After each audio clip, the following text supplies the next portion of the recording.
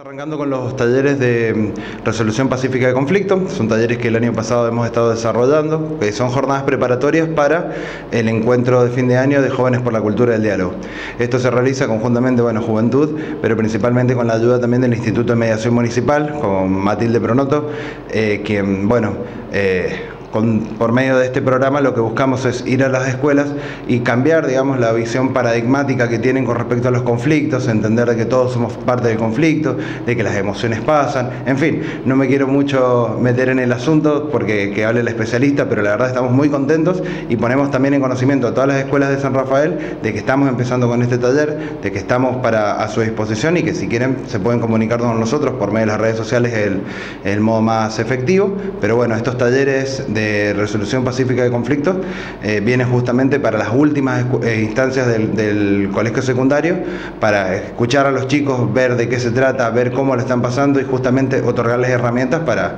para, bueno, para prepararse para el mundo de mañana. Estamos arrancando el cronograma, de hecho este viernes ya arrancamos eh, y bueno, después si quieren los podemos, lo podemos comunicar, pero bueno, ya hablamos con varias escuelas, con Reinaldo Merín, con, con la escuela Proyectar,